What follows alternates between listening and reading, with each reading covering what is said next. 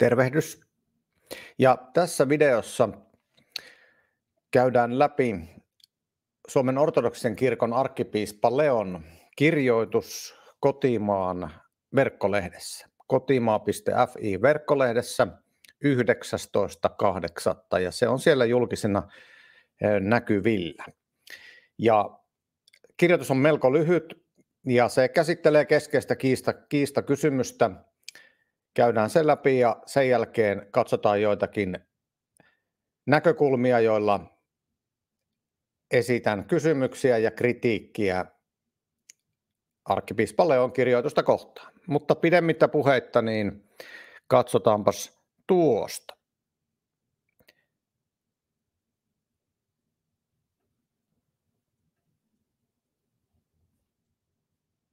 Hetkinen, yritetään saada näkyviin tuo Noin. Eli tämä on tosiaan kotimaa.fi-sivustolla ja myöskin printti, printtilehdessä niin tämä kirjoitus on ollut. Ja kotimaahan on, on tuota niin, erityisesti luterilaisen kirkon asioita käsittelevä keskeinen lehti. lehti. Ja tuota niin, näin. Katsotaanpa sitten.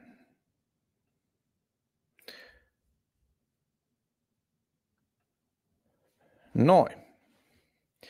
Ja tosiaan niin kirjoitus on vieraskynä. Ihminen on identiteetiltään alati kehittyvä. Ortodoksinen traditio kuitenkin katsoo, ettei biologista luontoa hylätä.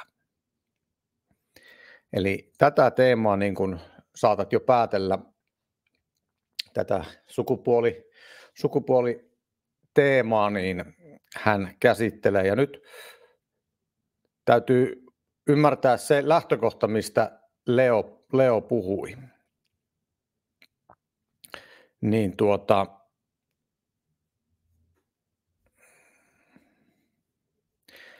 hän on ensinnäkin edustaa ortodoksista traditiota, eli nimenomaan semmoista niin kuin vanhakirkollista ja tämmöisiä niin kuin ensimmäiseen vuosituhanteen ankkuroituvaa, jolloin oli seitsemän yleistä ekumeenista kristillistä kirkolliskokousta, kunnes sitten idän ja lännen kirkko ajautui, joutui erilleen toisista. Eli tämmöistä niin kuin varsin perinteistä konservatiivista kristinuskon käsitystä Leo edustaa. Ja hän on sen korkein, korkein edustaja Suomessa, arkkipiispa. Ja tuota niin, siksi tämä on erityisen merkittävä. Nyt ei ole kysymys niin kuin yksittäisestä papista eikä edes, voisiko sanoa peruspiispasta, onko se vähän erikoisesti sanottu, ehkä on, mutta, mutta tuota, nyt on kuitenkin joka tapauksessa ykkösääni, ykkösääni Suomen ortodoksi kirkossa, joka on ekumeenisesti kokoaan suurempi toimija, on vaikuttava ja kuuluu sitten laajemmin ottaen, niin kuuluu tuohon ekumeeniseen patriarkaattiin, patriarkka Barttoleemus. No niin, ja lähdetäänpäs lukemaan tätä kirjoitusta. Tämä on tosiaan aika, aika lyhyt, niin, ja tässä on joitakin kohtia, joihin kiinnitän sitten huomioon. Keskustelu sukupuoli-identiteetin moninaisuudesta on kyseenalaistanut joidenkin kirkkomme jäsenten käsityksiä itsestään täysivaltaisina yhteisön jäseninä. Piispainkokouksemme maaliskuinen päätös kieltää sukupuolensa korjanneen pyyntö avioliittoon vihkimiselle voi näyttäytyä joustamattomana nykyymmärryksen valossa. Ortodoksisen kirkon tuleekin pohtia, miten se voisi kokonaisvaltaisesti tukea jäseniään sukupuoli-identiteetti huomioiden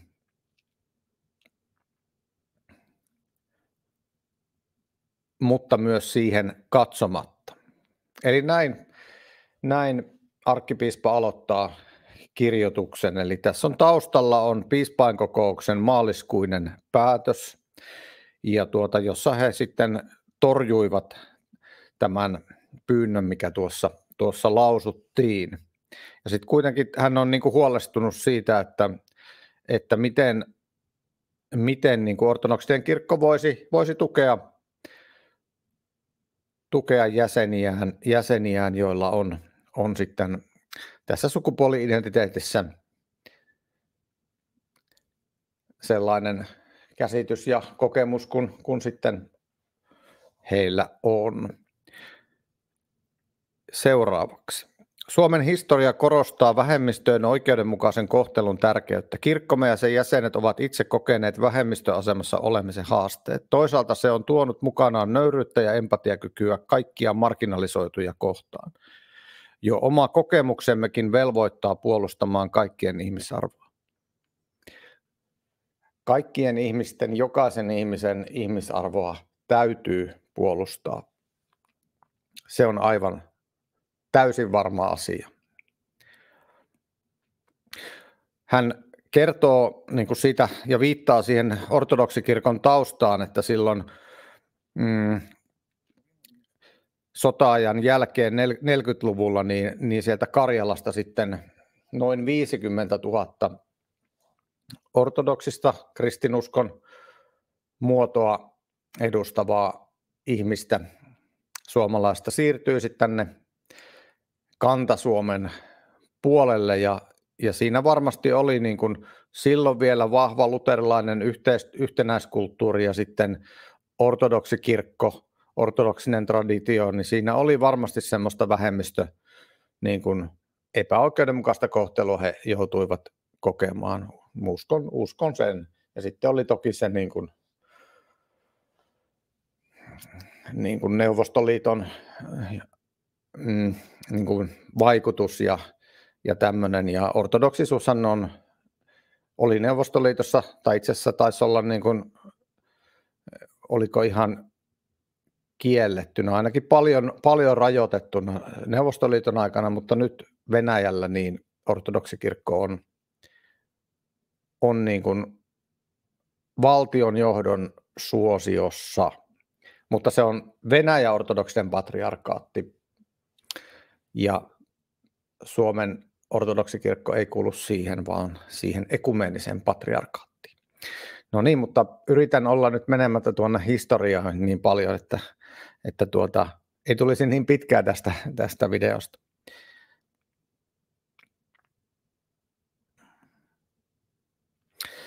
Seuraava kappale. Ihmispersonan ainutlaatuisuus kiehtoo minua syvästi. Olen 45 piispallisen palveluvuoden aikana oppinut näkemään sen moniulotteisena käsitteenä, joka kumpuaa syvältä teologisesta ja filosofisesta ajattelusta. Kommentoin. Tosiaan 45 vuotta hän on ollut piispana ja onkin nyt jäämässä eläkkeelle ja marraskuussa valitaan uusi ortodoksinen arkkipiispa. Et tässä on myöskin tämmöinen tilanne, ja nyt tämän arkkipiispa Leon kirjoitusta, niin tässä on nämä kaksi asiaa, tämmöistä ulkoista asiaa, mitkä luterilainenkin ei niin hyvin ortodoksisen kirkon asioista, niin kuin, ja varsinkaan ei, ei kirkkopolitiikasta ja niin kuin perillä, perillä oleva, mutta kuitenkin teologista traditiota niin kuin tunnen jonkun verran, en, en niin kuin sitä voi kiistää, että kyllä niin kuin ymmärrän ne lähtökohdat, mistä ortodoksisuus lähtee, mutta en ole tietenkään asiantuntija. Mutta voin lukea asian, asiantuntijoiden tekstiä tällään oppia ymmärtämään. Niin tota, eli hän ensinnäkin kirjoittaa arkkipiispana ja sitten hän on just jäämässä eläkkeelle alle kolmen kuukauden päästä. Tai vähän yli kolme kuukautta taitaa olla siitä, kun hän kirjoitti tämän. Eli 19.8. kirjoitti ja tämä herätti huomiota. Se oli kotimaan verkkolehdessä niin suosituin kirjoitus. Ortodoksen arkkipiispan kirjoitus oli suosituin teksti siellä ainakin kaksi päivää, ehkä kolme päivää saattoi olla enemmänkin. Ja jos katsot Facebookista kotimaan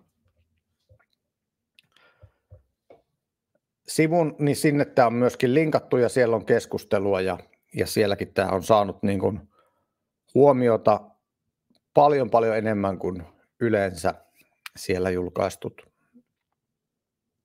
artikkelit. No niin, seuraava kohta. Persoonallisuus ei rajoitu vain ulkonaisiin piirteisiimme, vaan kuvastaa syvällistä yhteyttä jumalalliseen, kykyämme rakastaa, olla luovia ja jatkuvasti kehittyviä. Olemme kuin peilejä, jotka heijastavat jumalallista valoa kukin omalla ainutlaatuisella tavallamme.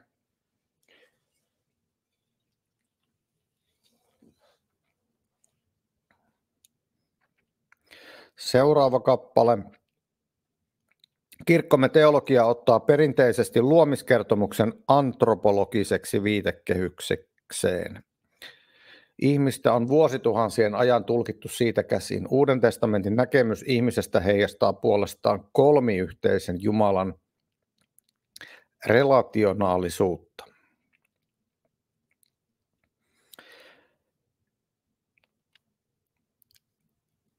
Kommentoin nyt niin kuin arkkipiispan kirjoitus alkaa mennä siihen asiaan, minkä hän sitten nostaa esiin ja, ja tuota niin, mielestäni erikoisella, erikoisella ja hämmentävällä tavalla.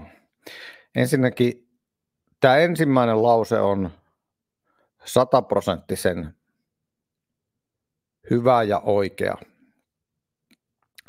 Haluan sanoa, sanoa sen, että Minusta tuntuu näin luterilaisena pappina hieman kiusalliselta ja oudolta ja harmittaa, että joudun esittämään kritiikkiä nyt toisen kirkon, toisen suomalaisen kirkon korkeinta opettajaa kohtaan. Mutta toisaalta juuri siksi, että koska hän on itse kirjoittanut julkisesti, se on julkaistu myös lehdessä, joka on luterilaisen kirkon kannalta keskeisin lehti sekä printissä että, että netissä. Ja arkkipiispa on nyt itse tietoisesti nostanut tämän, tämän asian, asian tässä keskusteluun, mitä hän, mitä hän hetken päästä tässä artikkelissa sitten tarkemmin lausuu. Itsekin kommentoin siihen kotimaan, tai kotimaan Facebook-sivulla ja, ja toivoin, että ortodoksiset papit nyt niin kuin reagoisivat tähän kirjoitukseen, että ymmärrän tietysti, että on varmasti vaikeaa sanoa mitään kriittistä ja varsinkaan julkisesti arkkipiispaa kohtaan. Mutta toisaalta, jos ei niin kuin keskustelua sallita, kun arkkipiispa itse sen avaa julkisesti. Ei ole kysymys jostain niin kuin tämmöisestä niin kuin jostain pienemmän porukan tämmöisestä pohdis, pohdiskelusta, vaan niin kuin julkisesta, erittäin julkisesta ja näkyvästä. Ja hän kirjoittaa nyt arkkipiispana, hän ei nyt kirjoita yksityisihmisenä myöskään. Niin nyt koen, että nyt, ja sillä tavalla kun hän tulee nyt tällä kirjoituksella nimenomaan luterilaisen kirkon keskelle, jossa taas itse haluan niin kuin vaikuttaa erityisesti. Ja olen itse asemoitunut tähän luterilaiseen kirkkoon, niin siksi nyt joudun valitettavasti kommentoimaan.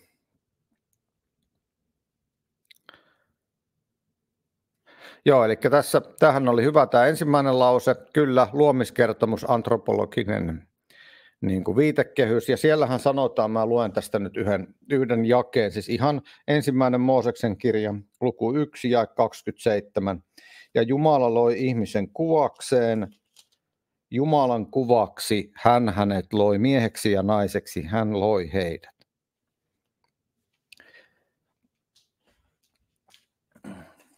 Ja sitten hän mainitsee myös, että vuosituhansien ajan tulkittu siitä käsin, ja sitten tämä relationaalisuus, eli niin kuin suhteessa ole, ole, olemista se niin kuin viittaa.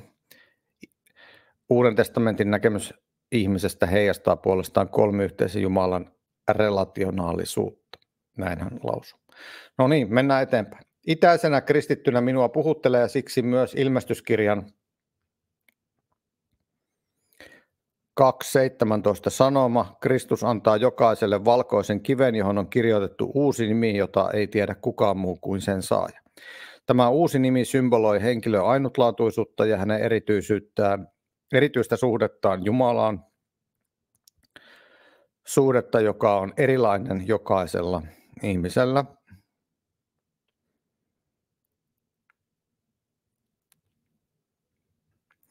Joo, kyllä. Ei tuohon ole mitään kritisoitavaa.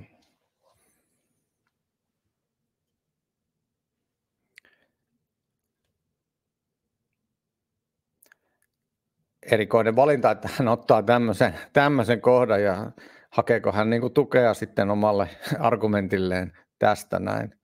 Vähän vaikuttaa siltä ihan niin kuin jännä, jännä niin kuin kohta, mutta sinänsä tässä kappaleessa ei nyt ole, ei ole mitään moitittavaa. Mennään eteenpäin. Jokaisessa meissä on siis mysteeri, joka on jaettu vain Jumalan kanssa. Ainutlaatuisuutemme ilmenee myös suhteessamme toisiin ihmisiin. Ajattelen, että ihminen on lopulta kutsuttu ilmentämään kolminaisuuden, rakkauden ja yhteyden periaatetta, joka on itse Jumalan olemuksen ydin. Ihmisen kyky rakastaa ei voi koskaan rajoittua pelkästään itseen.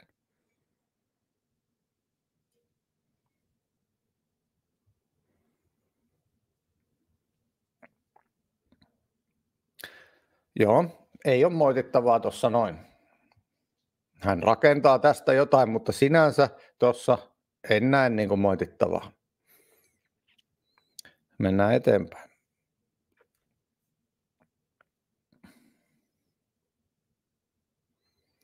Tämä ajatus heijastuu myös pohdintaan sukupuoli-identiteetistä. Havahdun usein siihen, kuinka vaikeaa on löytää rakastavat ja rakentavat sanat heille – joiden identiteetti ei löydy perinteisistä kategorioista.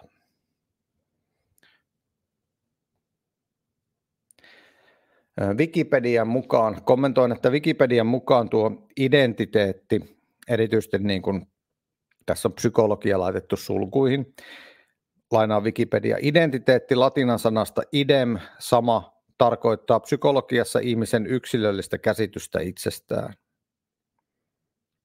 ja niin edelleen. Halusin sen, sen tähän kohtaan mainita, koska nyt hän otti, otti esiin tämän sukupuoli-identiteetin, josta sitten hän, tai jota hän käsittelee tässä jatkossa. Eli hän on niin kuin huolestunut, että miten on vaikea löytää, löytää rakastavat ja rakentavat sanat, sanat heille, joilla joilla sitten identiteetti ei löydy perinteistä kategorioista niin kuin Leon, Leon käsityksen mukaan. Jatkan arkkipiispa lausuu. Perinteessämme ihmisen todellinen identiteetti ei määräydy kategorisesti biologian tai luonnon kautta, vaan juuri rakastavassa suhteessa Jumalan ja lähimmäisiin. Ajattelen, että tämä voisi teoriassa avata tilaa ajatukselle, ettei sukupuoli-identiteetti ole ehdottomasti sidottu biologiaan.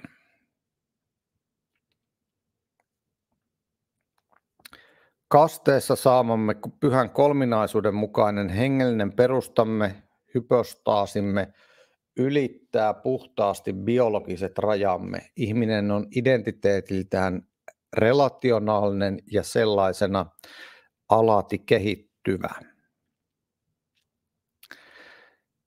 Ja tämä kappale kyllä herättää nyt niin kuin ajatuksia, pohdintaa, kysymyksiä.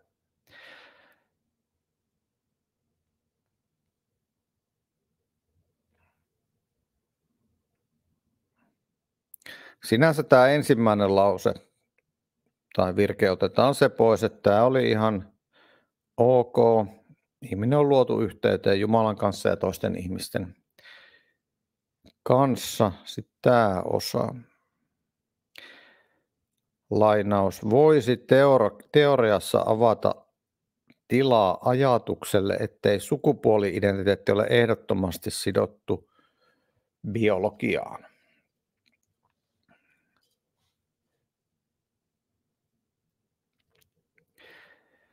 Hän käyttää nyt sanaa sukupuoli-identiteetti tässä.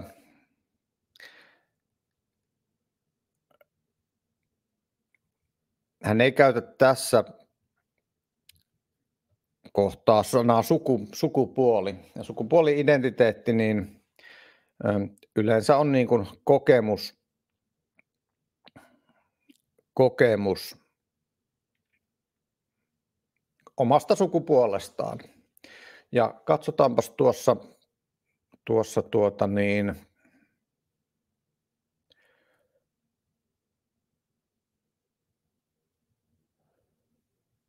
saanko näytettyä tuota sivustoa, kokeillaan tuosta.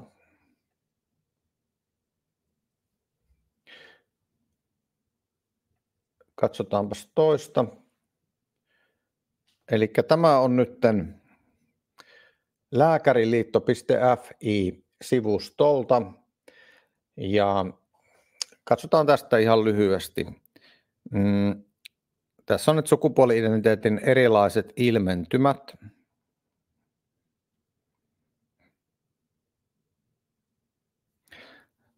Sitten tässä alussa sanotaan näin. Sukupuoli voidaan määritellä eri tavoin eri asiayhteyksissä. On tärkeää esimerkiksi huomioida, puhutaanko syntymässä saadusta biologisesta sukupuolesta vai ihmisen kokemasta ja toteuttamasta sosiaalista sukupuolesta.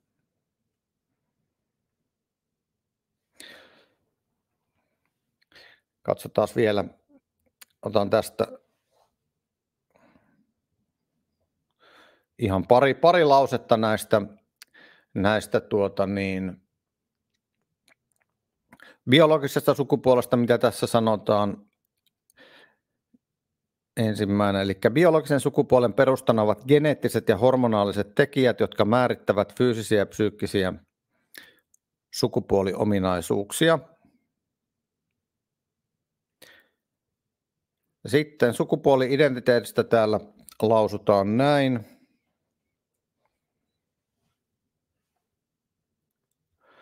Jokainen kokee sukupuolensa omalla yksilöllisellä tavallaan.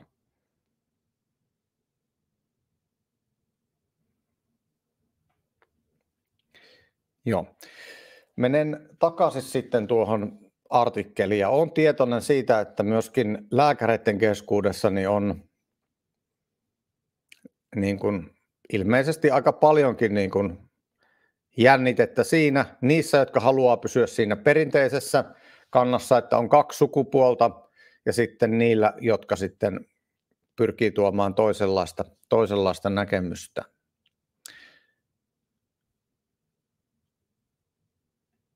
Nyt menen takaisin tuohon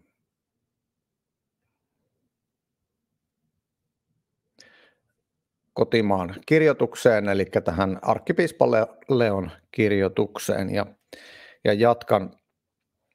Siis se pääpointti on, mistä käsin itse tätä, tätä katson ja esitän niin kuin kysymyksiä. Ja myöskin niin kuin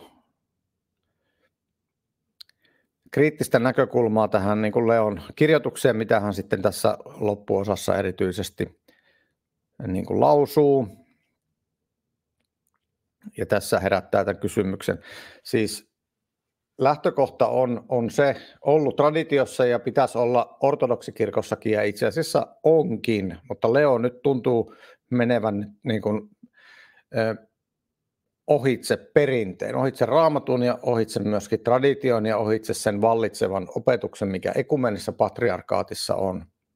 Tämä on vakaa käsitys, että näin, näin nyt on. Nyt hän pyrkii herättää kysymyksiä avaamaan jotakin semmoista ovea, jota ei ole aikaisemmin avattu ja joka on kyllä niin kuin herättää kysymyks- kysymyksiä. Et se, koska patristisen eli kirkkoisien tradition mukaan ja raamatun mukaan, niin se ihmisen nimenomaan sukupuoli määrittyy siitä biologiasta. Se määrittyy biologiasta ja tämä on täysin varma, varma asia. Ja mulla on tässä tutkimustaustana ja katsotaan tämä, tähän sitten lähde vielä hetken päästä, kun on tämä koko kirjoitus tässä käyty. Ja sitten se, että miten ihminen kokee itsensä, niin se ei muuta sitä sukupuolta. Se on ihmisen kokemus, että siinä mielessä voi olla sukupuoli-identiteetti. Mutta ei sillä että se sukupuoli olisi muuttunut. Että jos on sukupuoleltaan vaikka nainen ja sitten kokeekin olevansa mies, niin ei se niin kuin muuta sitä biologista naista niin kuin mieheksi, vaikka hän kokisi olevansa mies. Koska se on ankkuroitu siihen ruumiiseen, kehoon, biologiaan, se geeneihin ja, ja kromosomeihin ja, ja, ja tällä, tällä tavalla. Että on vain kahta. Ihminen voi tuottaa joko pieniä tai suuria sukusoluja. Ja sukusolut vaikuttaa olevan tässä se niin kuin ydin, mihin tämä sitten lopulta biologiassa menee ja mit, mitä kautta se on määritetty, se sukupuoli, että kumpiako sukusolu ja ihminen on niin kuin rakennettu tuottamaan. Se on eri asia, jos hän ei niitä tuota syystä tai toisesta, mutta hän on kuitenkin niin kuin rakennettu. Että ei ole kolmea sukusolua, vaan on kaksi. Pienet tai suuret sukusolut. Ja tuota, tästäkin mä näytän sitten lähteä, jos haluaa katsoa tätä, tätä enemmän. Mutta Suomessahan nyt se laki on muuttunut viime, viime vuonna, että että Suomessa tosiaan niin pystyy, pystyy sitten ikään kuin ilmoitusasiana muuttamaan, muuttamaan juridisen sukupuolen. Ja sittenhän on tämä toiseksi kuin mikä on se keho. Siis ei tarvitse käydä missään lääkärillä eikä psykologilla tai näin. Se on se juridinen muuttaminen tai korjaaminen, se, se sana mikä laki silloin hyväksyttiin viime, viime vuoden alussa.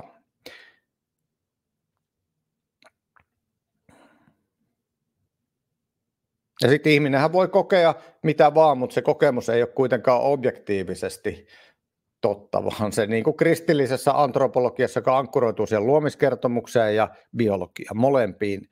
Meillä ei ole ainoastaan biologia, meillä on myöskin Jumalan sana, raamattu ilmoitus, ja siellä se ihan se Genesiksen alkuluku ja pyhän hengen vaikuttamat kirjoitukset. Näin se on mennyt. Ja yhä edelleen esimerkiksi Suomen kirkon katekismuskin sanoo, että Jumala loi ihmiset miehiksi ja naisiksi. Siinä on niin se jompi kumpi. No niin, menen tästä nyt.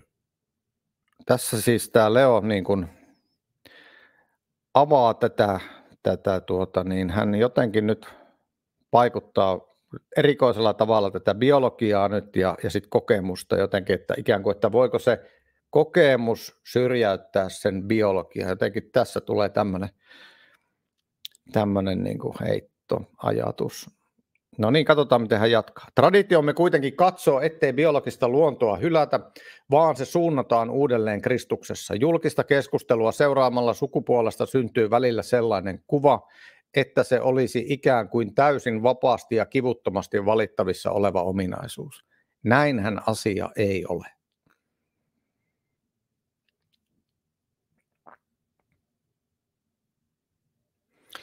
Joo, sinällään ihan ok ok niin kuin kappale tämä.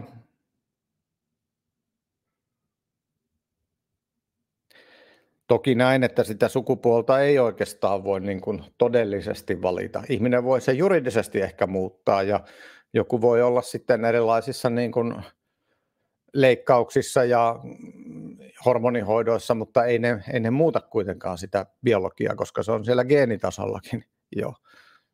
Toki siinä sitten jotakin niin kuin muutosta tapahtuu, mutta ei kuitenkaan sillä että biologisesti nainen voisi tulla biologisesti mieheksi. Ei siinä. Ja kun se sukupuoli nimenomaan ankkuroituu siihen ruumiiseen, niin siksi sukupuolta ei voi muuttaa.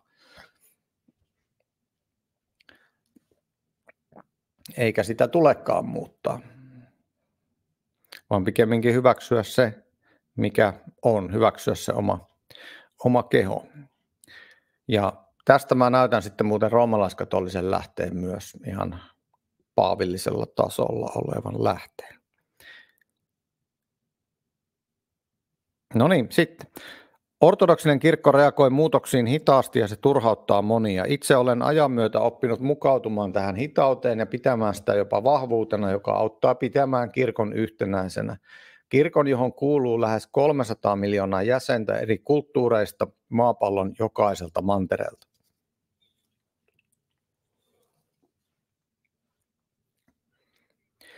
Kyllä, ortodoksinen kirkko ei oikeastaan pysty tekemään, se on kyvytön tekemään myöskään mitään uusia päätöksiä.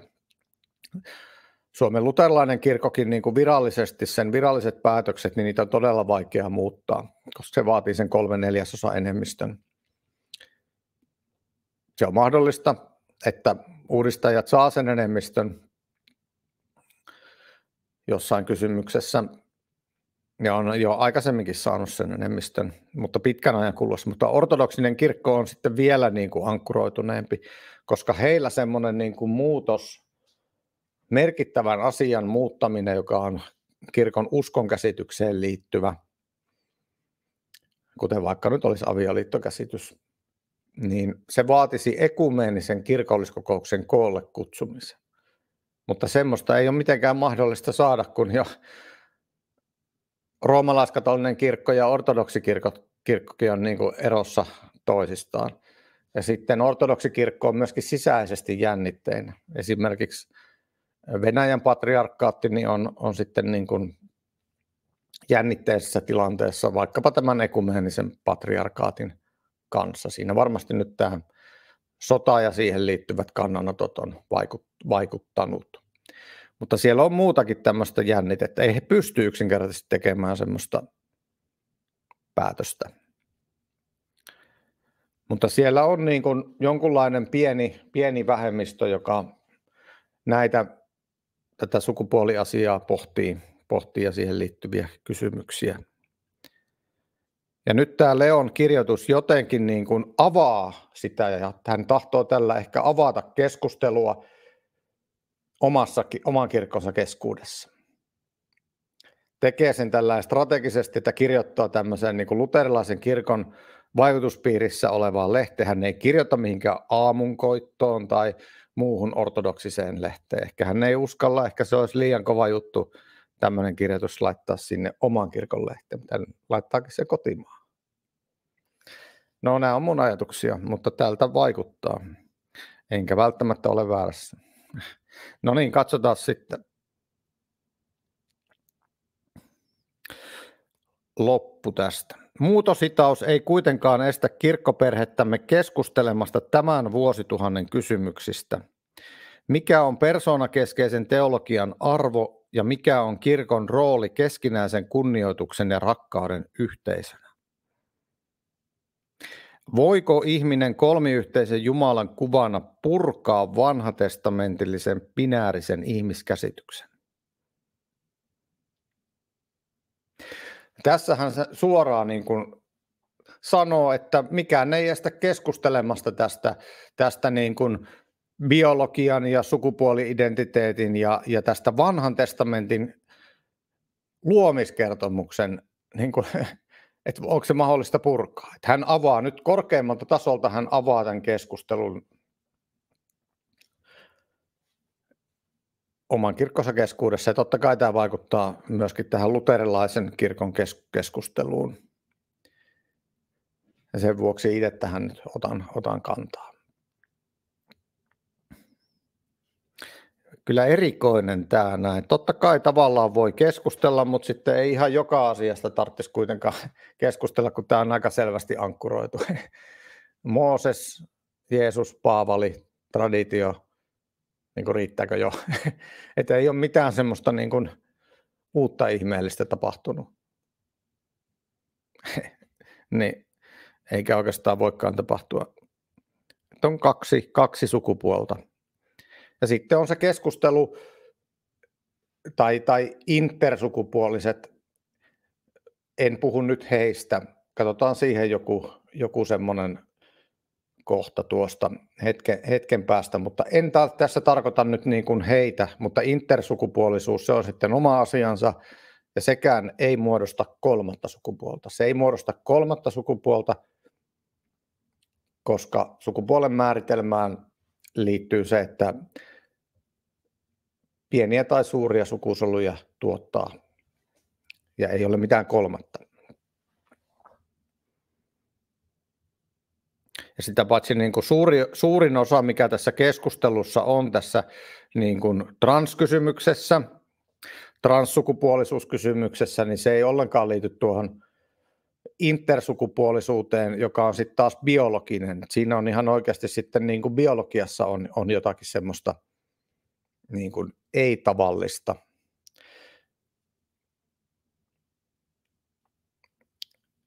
Että koska tässä trans, transajattelussa, niin siinähän, siinähän niin kuin nimenomaan ajatellaan, että se ihmisen kokemus omasta identiteetistään, kokemus omasta sukupuolestaan, ja siinä usein ei puhuta edes sitten, että se, että se kokemus on niin kuin se sukupuoli, että se kokemus määrittää sen, kuka ihminen sitten lopulta on.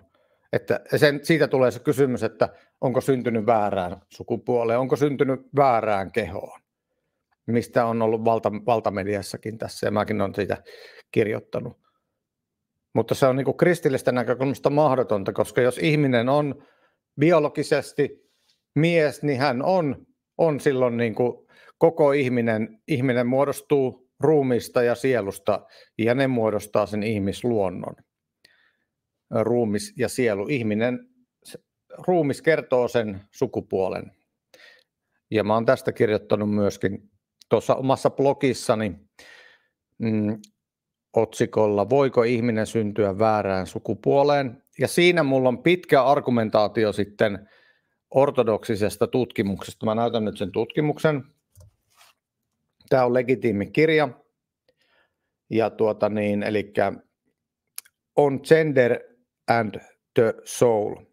An exploration of sex, gender and its relation to the Soul According to the Church Fathers. Eli Benjamin Cape niin on tutkinut tätä ja hän on itse valmistunut ortodoksista teologisesta seminaarista ja tässä kirjassa on myöskin vahva arkkipiispa Michaelin niin kuin, tämän seminaarin rehtorin, ortodoksen teologisen seminaarin rehtorin suositus. Että tässä on niin kuin konkreettiset kirkkoisien niin kuin lai, lainaukset, ja tämä on täysin selvä tämä, tämä asia niin kuin tradition kannalta.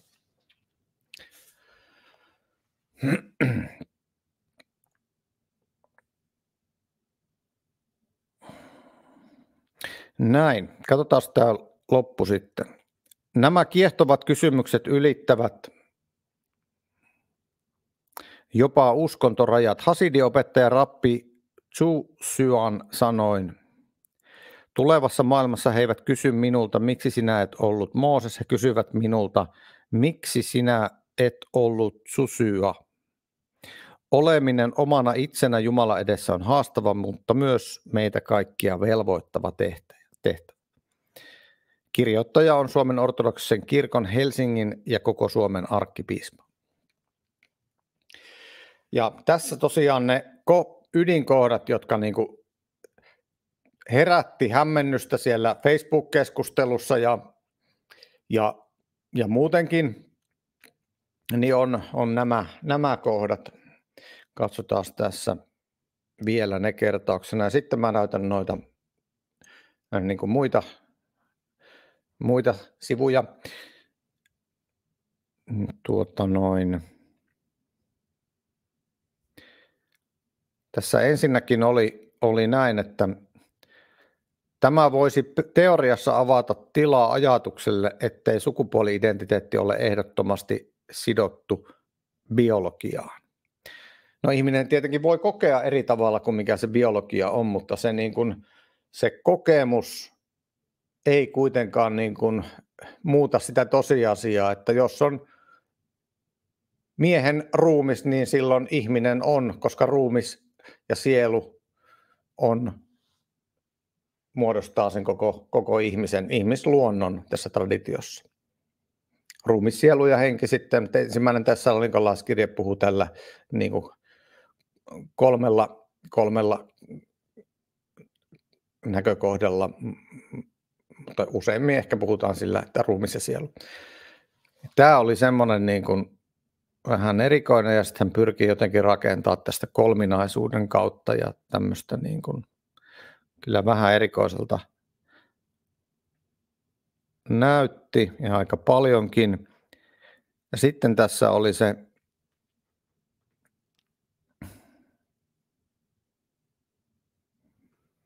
tämä lause.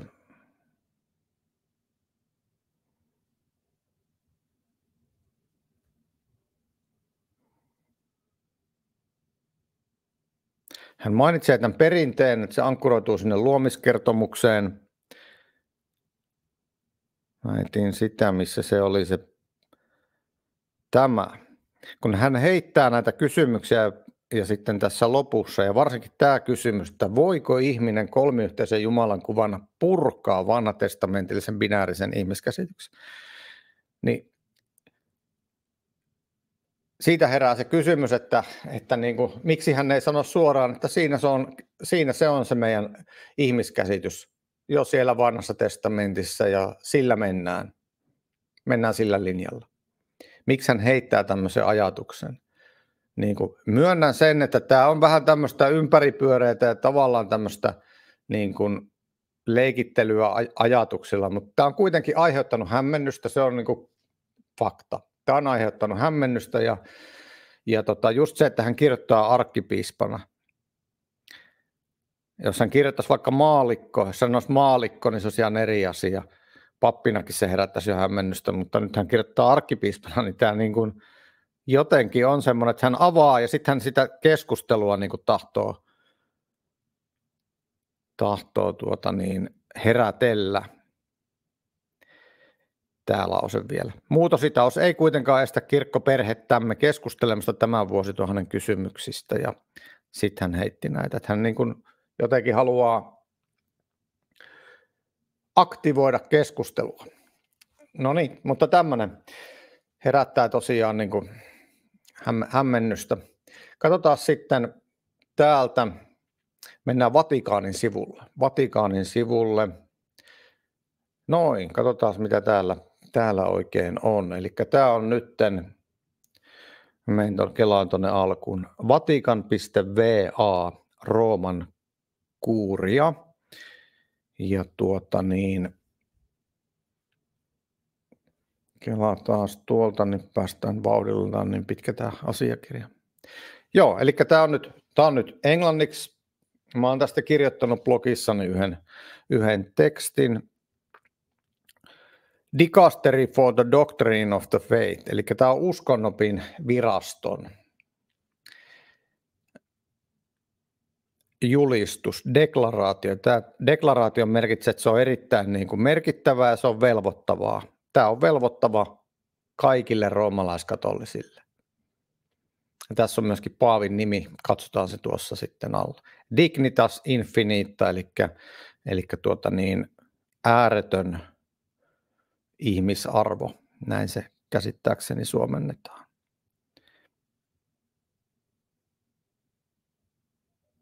Noin. Mä kelaan tuonne joihinkin ihan lyhyesti, katsotaan tästä näin. Tässä näkyy tuo, kuka tän on pääkirjoittaja kaikella todennäköisyydellä on ollut tämä prefekti, eli tuon uskonnopiviraston prefekti, Victor Manuel Cardinal Fernandes. Näin. Haluan näyttää, että en niin puhu vain jotenkin omista ajatuksistani, vaan kyllä ankkuroin tänne traditioon. Ja ortodoksien kanssahan on luterilaisillakin yhteistä, yhteistä niin kuin paljon, paljon, ja luterilaisuus arvostaa traditiota myös. No niin. Täällä on joitakin kohtia. Tämähän nyt oli ihan, ihan tuore, se oli tämän vuoden puolella. Tämän vuoden puolella. Niin täällä on siis kappale tästä gender-teoriasta ja sitten sukupuoliteoriasta. Tässä kohta 55 alkaa. Gender teoria, eli, eli sukupuoli-ideologia siihen, siihen niin. Ja katsotaan tästä, niin mä haluan, haluan täältä, niin kun mennään tänne kappaleeseen 59,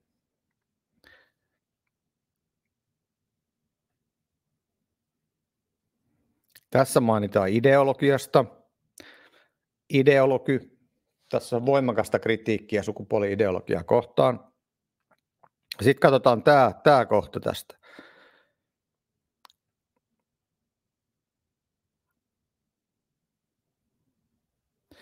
Näin. Mä luen tämän nyt englanniksi. It needs to be emphasized that biological sex and the social cultural role of sex, gender can be distinguished but not separated. Ja tuota, no joo, sori tästä vähän huonosta, huonosta englannin lausumisesta. Luen kyllä paremmin, mutta tämä lausuminen on vähän heikkoa. niin tota, eli tässä sanotaan, että tämä biologinen sukupuoli ja sitten sosiokulttuurinen rooli, gender, sosiokulttuurinen rooli, eli just se, niin kuin, mikä on myös se niin kuin kokemus, gender on se kokemus, sosiokulttuurinen rooli, ne voidaan niin kuin erottaa siitä biologiasta tällä niin kuin keskustelussa niin kuin käsitteellisesti, ne voidaan erottaa, mutta niitä ei voi kuitenkaan täysin irrottaa. Niitä ei voi täysin irrottaa separated.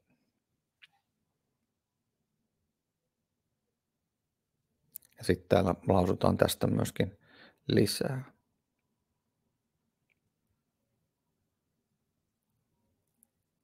Ja sitten tässä painotetaan tämän kappaleen loppulauseessa, että, että hyväksyvällä, tuntemalla ja hyväksymällä tämän eron, niin, tuota, niin person fully discovers themselves, their dignity and their identity.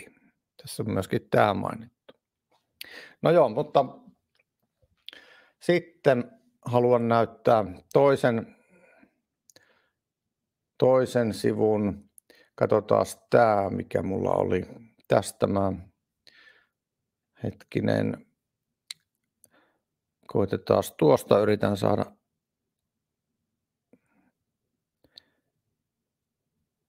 tuota niin, näytettyä sitten tuosta intersukupuolesta ihan lyhyesti, ihan lyhyesti tuon noin. No niin, eli tämä on nyt Wikipediasta intersukupuolisuus ja luen tästä ihan suoraan alkua.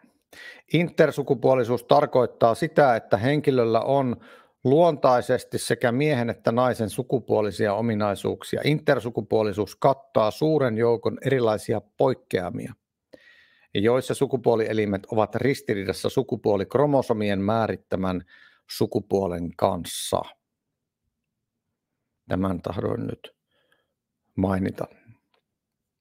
Eli tässä mainitaan, että se, siellä on niin kuin erilaisia poikkeamia. erittäin niin kuin harvinainen, harvinainen tämä, tämä intersukupuolisuus. Mutta semmoista, semmoista on myös. Noin ja sitten katsotaan nyt vielä, näytän tästä tuolta sen tradition, kun puhuin, että on traditioon ankkuroitu, mistä puhun, se, että patristinen traditio, kirkkoisien traditio, että on, on kaksi, kaksi sukupuolta, niin tahdon tästä näyttää niin kuin faktaa siitä. Samalla vähän opettelen tätä tekniikkaa, on nyt parempi tekniikka tässä, minkä kautta teen näitä, näitä videoita, niin hieman on tätä opettelua tässä. Ei ole, ei ole niin sujuvaa vielä.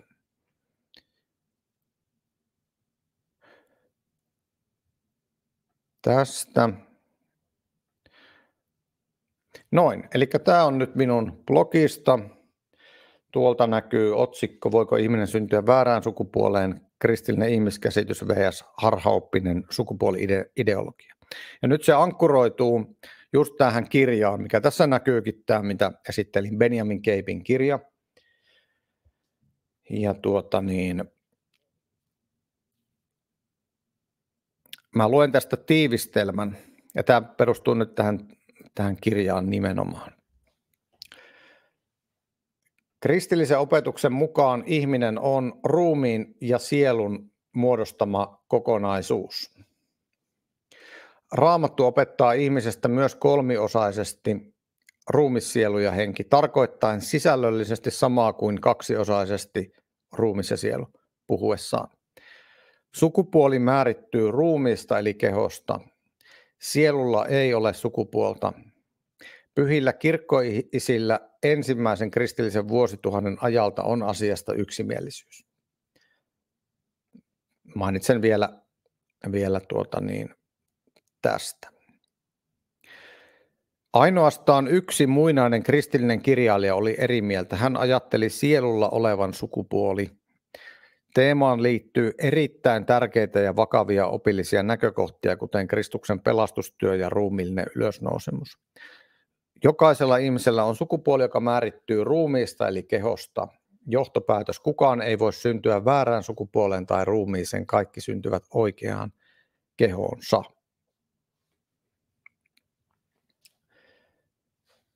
Näin, ihminen on kokonaisuus. Ja tässä mulla on tosiaan laajat perustelut, että tervetuloa vaan, jos, jos joku ortodoksi haluaa tämän haastaa, niin, niin tuota, sitten vaan katsotaan, miten argumentit menee. Että mä viittaan tuohon Benjamin Keipin, Keipin kirjaan, että voidaan lähteä keskustelemaan sit siitä. Näin. Hyvä. Sitten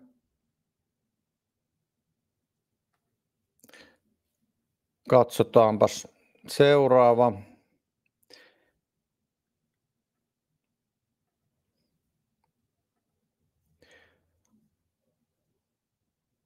Mä näytän nyt tämän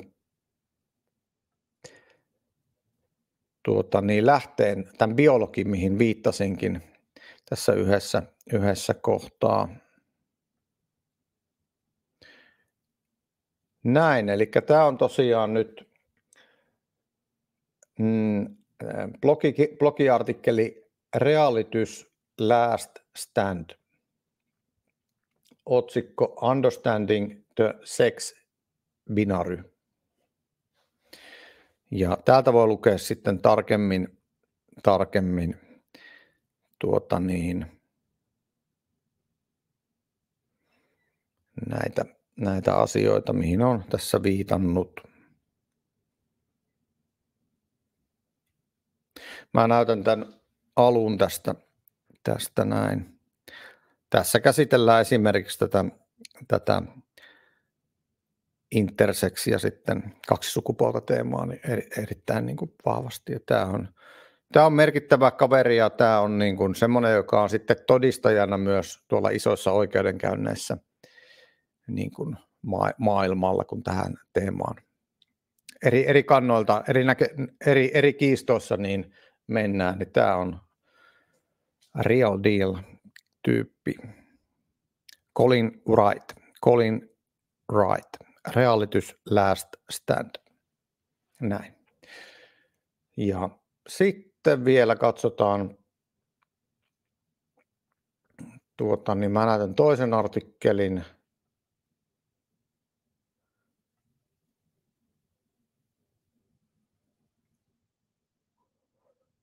tuosta.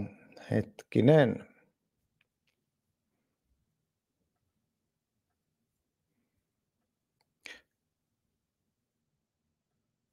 Ja tämä on mun blogiartikkeli perustuen siihen Dignitas Infinita Paavin julistukseen tänä, tänä vuonna. Mulla on tässä niin kuin, mm, mä näytän tästä vain suomennuksen, jossa on keskeinen keskeinen kohta siitä otettu, niin sen takia tämän nyt esittelen tai näytän sen, saa sen suomennuksen luettua. Tässä katolinen kirkko kritisoi tätä sukupuoliteoriaa ja tuota, korostaa sitä ää, niin kuin kahden sukupuolen lähtö, lähtökohtaa.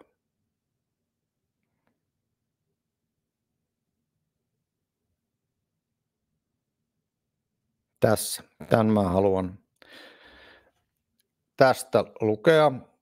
Eli tämä on nyt se, mitä siinä asiakirjassa lausutaan, mikä on Paavi hyväksymä.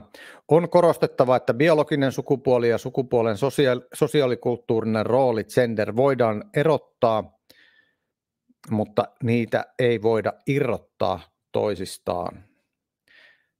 Tämä on erittäin tärkeä periaatteellinen linjaus, just tämä, että niiden välillä voidaan tehdä keskustelussa ero, mutta niitä ei voida kuitenkaan niin kuin repiä irralleen toisistaan